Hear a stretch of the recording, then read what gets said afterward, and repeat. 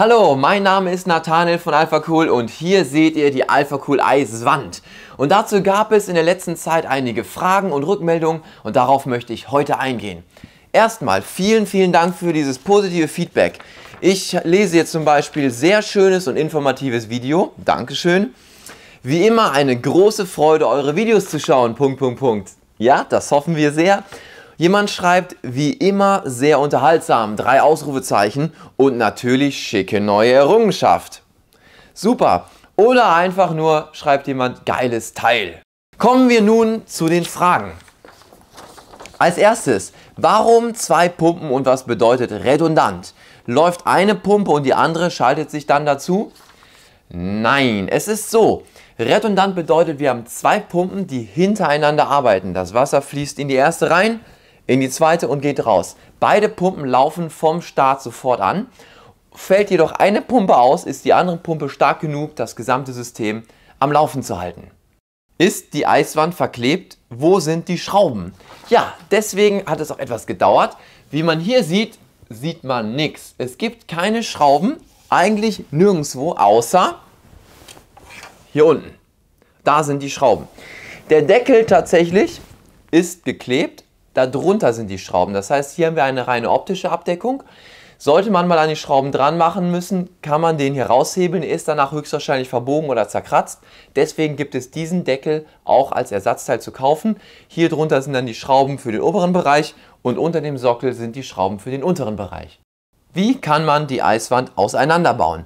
Ja, wie schon gerade erklärt, hier oben gibt es die Schrauben unter dem Top. Hier unten sind die Schrauben ganz einfach ähm, sichtbar und es zerlegt sich Stück um Stück. Ich kann also zuerst die Bodenabdeckung rausbauen, dann den Sockel, dann diesen Sockel und dann geht es hoch zu den Innereien bis von hier oben. Also es zerlegt sich Stück für Stück für Stück und ich empfehle eigentlich niemandem das zu machen.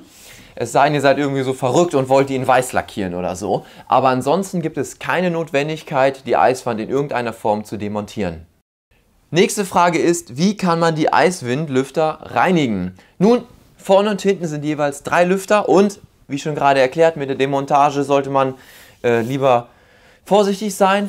Also, was nun? Ganz einfach. Der Staub sammelt sich ja hier vorne in diesen Filtern, die auf beiden Seiten sind. Und deswegen kann man mit einem Staubsauger auch ganz einfach mal das Ganze wieder raussaugen. Das heißt, schön hier langsam vorhergehen, einmal beide Seiten und schon sieht das Innendrehen aus wieder wie nach einem Frühjahrsputz. Lässt sich die Eiswand mit der Eisbär oder Eiswolf kombinieren? Gut, ich denke, die Frage zielt darauf ab, was passiert, wenn noch mehr Pumpen ins System kommen. Weil grundsätzlich, man kann das hier mit allem kombinieren, egal ob Radiatorbehälter oder was auch immer. Aber was passiert, wenn ich nun hier schon zwei Pumpen habe und ich schließe jetzt noch eine Eisbär oder einen Eiswolf für die CPU und die GPU an? Nun, dann habe ich vier Pumpen und man sollte die auch wirklich in Reihe anschließen. Also bitte macht nichts mit Parallelbetrieb oder so. Und was habe ich dann? Ich hätte dann vier Pumpen.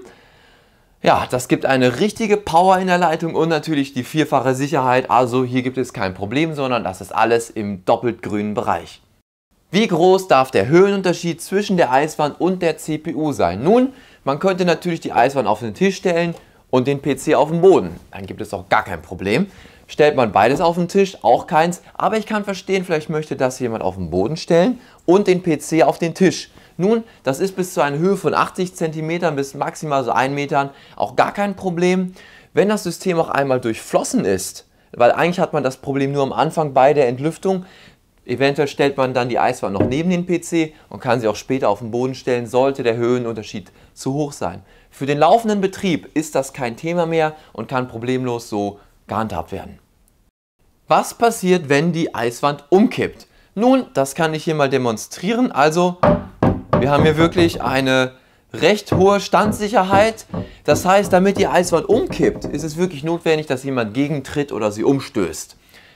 Das sollte auch niemand jetzt mal probieren. Wir selber haben das auch noch nicht probiert. Es wäre viel zu schade. Aber was ich sagen kann, ist folgendes. Rechts und links gibt es ein Aluminium, das richtig stabil ist.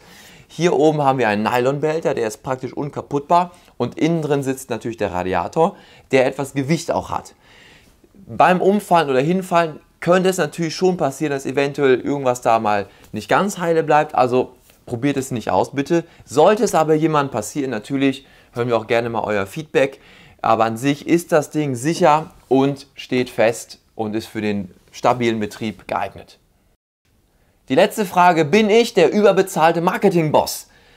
Ja, die Frage, denke ich, impliziert einfach, rede ich hier einfach nur alles schön und werde ich dafür bezahlt, sinnlos mich aufzuputschen? Nein, ich bin seit langen Jahren der Geschäftsführer dieser Firma und das ist einfach mein Leben. Es ist seit 15 Jahren mache ich das. Es ist einfach wie ich bin und ich bin einfach begeistert, wenn man halt aus dem Nichts als Student aus dem Keller anfängt, nebenberuflich irgendetwas aufzubauen. Und am Ende stehen wir hier mit 250 Mitarbeitern weltweit und haben eine großartige Firma, eine großartige Marke.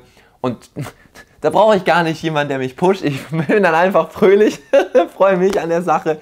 Und das ist es, wie ich bin. So, das war's erstmal. Vielen Dank fürs Zuschauen und vielen Dank für die ermutigenden Hinweise und das Feedback auf YouTube, bei Facebook, per E-Mail. Wir sind echt dankbar, dass ihr so begeistert auch von diesem Produkt seid. Das war die Eiswand FRQ. Vielen Dank und tschüss.